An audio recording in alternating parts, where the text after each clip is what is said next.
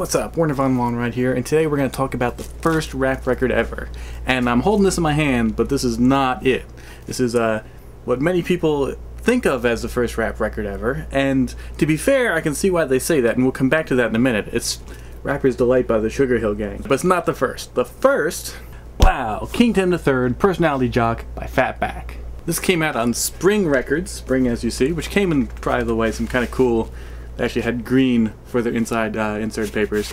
Uh, 1979, of course. So, okay, so now getting back to comparing it to Rapper's Delight, I mean, the reason why I could see people really giving this credit is the first rap record by a rap group.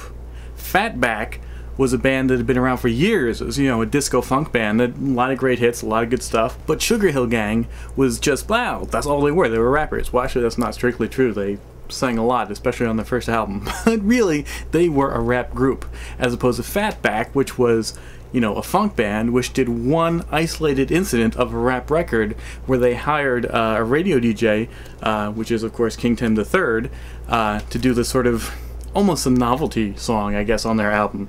Um, and then later that became the single. Actually, that became the B-side. See, I'm holding here the 12 inch because, you know, real men like 12 inches, not the little 45 7 inch nonsense stuff. But the 7 inch actually came out first. And the 7 inch was a song called You're My Candy Sweet by Fatback.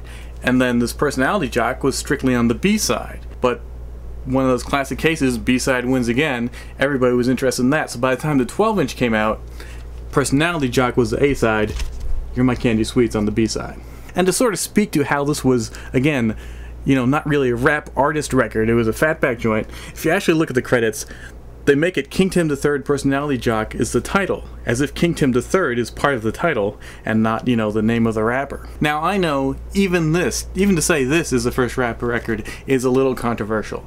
Um, there's certainly a lot of people out there who would say there have been previous rap records. In fact, Freddie Fresh's book, the first edition, he calls uh, Personality Jock the second rap 12 inch ever, but the first to play it on the radio. And in the second edition, he kind of amends that and he just says the first rap 12 inch on radio, which still sort of applies that there was a previous rap 12 inch, but he doesn't actually really kind of make that claim anymore. Um, because it's certainly, it's debatable, put it that way because a lot of people will hold up a lot of stuff by a lot of artists that are saying, well, this is pre-rap. Like Last Poets, of course, are a great example. Um, some people very specifically point up, like a blues guy um, whose name escapes me, and I should have looked it up before I started this video, but it's too late now. and then there's also a Broadway musical album which has a very kind of hip-hop-ish moment, and a lot of people point to that and say, well, that's really the first rap record. That came out, you know, late 78 or early 79. And, you know, I could see that, but if you listen to it, I don't know, it's not really a rap song. And we listen to these other things, you know, again, like Last Poets, yeah, they're sort of rapping in the sense that they're kind of, you know, talking over music with a rhythm, you know, rhythmical cadence, but it's definitely not the same genre that came out of disco. It's not the same stuff that came out of the movement of the DJs of, you know, Hollywood and Grandmaster Flash. You know, that was like a separate thing. I mean, you could have people you know, just doing a sort of spoken word style all the way back to like fucking Shakespeare and playing on lutes and stuff like that, you know? Um, but that none of that came from the real movement that is hip hop. So if you want to talk records where anybody's sort of rapping on it, yeah, I mean there's heaps that go way back before hip hop existed, way back into the 60s, the 50s, probably I mean probably almost as early as recorded music existed. There's probably an Al Jolson song where he's almost doing a rap kind of skit or something. Maybe not, but you get what I'm saying. So with that said, for all intents and purposes, King Tim III really is the first rapper on record. Of course, not the first rapper. They've been rappers around for years with the Cold Crush, etc., etc., and you know all about that and Kool Herc. But this was the first rapper on record, and then, of course, Sugar Hill followed that up a few weeks later. So the next question is, how is it? It's pretty good. It's a little light on the rapping, having just gone all through about how it's the first rapper on all this, and now say it's light on the rapping. You know, I mean, there's long stretches of instrumentality, uh, the backup singer is singing, you know, so you know, like I said, it's it's King Tim doesn't really come off as a strong force on his own record. Well, I guess you could say it's not his own wrong record; it's Fatback's record.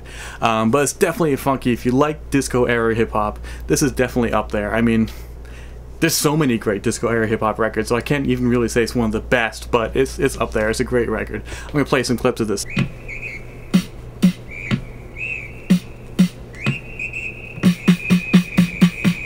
All right, y'all. Here we go. Just off your feet, cause you listen to the sound of the show beat. I'm the K-I-N-G, the we doing it all, just for you. We're strong as an ox and tall as a tree, we can rock it so viciously. We throw the highs in your eyes, the bass in your face, we're the funk machines that rock the human race. Skate down, boogie shot,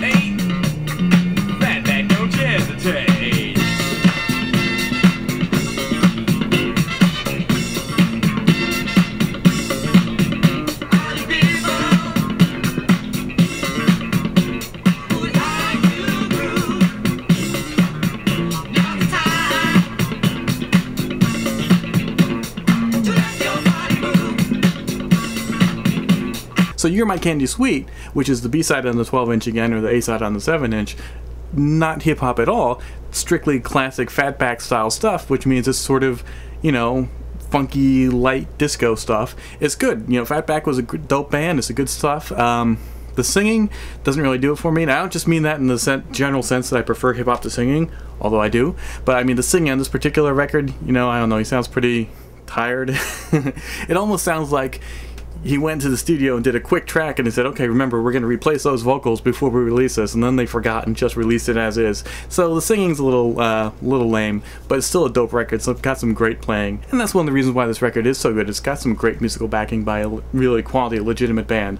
Obviously, Sugar Hill Records had the strength of, you know, Fats Comet being the Sugar Hill band. But a lot of times, you know, you hear about, like, you know, Soulsonic Force talking about Zulu Nation Throwdown. They're saying, you know, it was like circus music. And all these people were sort of hiring, you know, some pretty uh, studio musicians of vari- varying qualities on different labels. Uh, but Fatback, Fatback is a great band, so you know they provided some serious quality music to the background to this.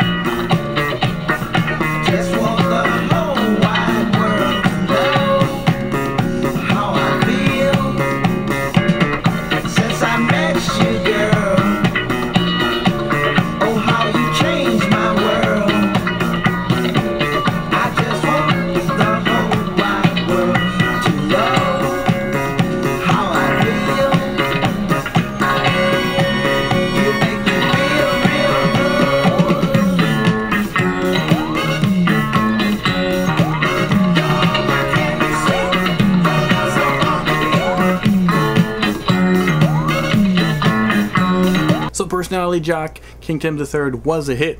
It did really well. It was eclipsed somewhat by the Sugar Hill Gang, but it certainly made a lot of noise on its own, got a lot of attention, sold a lot of records. Spring Records realized this, and King Tim came back the next year, 1980, with a follow-up called Charlie Says, which is really, really funky. Again, a little light on King Tim's vocals. Um, Again, you got a lot of instrumental pauses, you got a lot of the backup singers singing, although they're dope. But, uh, you know, so it's not really heavy on the rapping. It's certainly not compared to something like a Grandmaster Flash and the Furious 5 kind of joint. But it's a lot of fun. It's a classic roller skating disco song. Play some clips of this. I really dig this one.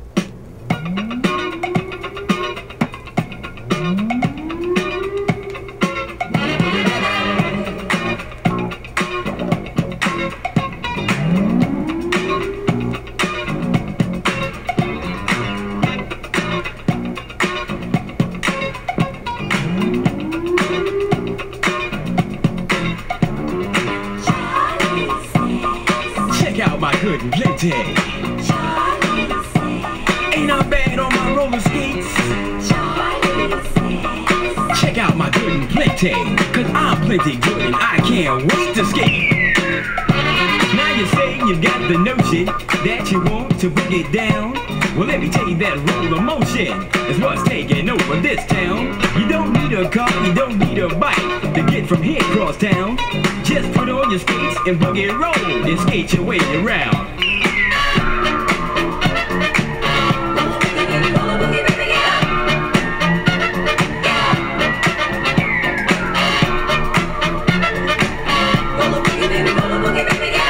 Then that's just backed with the instrumental. That's all there is.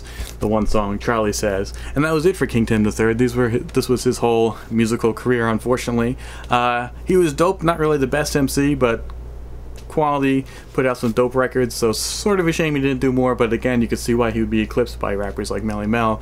And so, uh, and since he was always really, I suppose, a radio DJ first and a rapper second, it was probably not the emphasis of his career. So till next time, Werner von Wallenrod, peace out.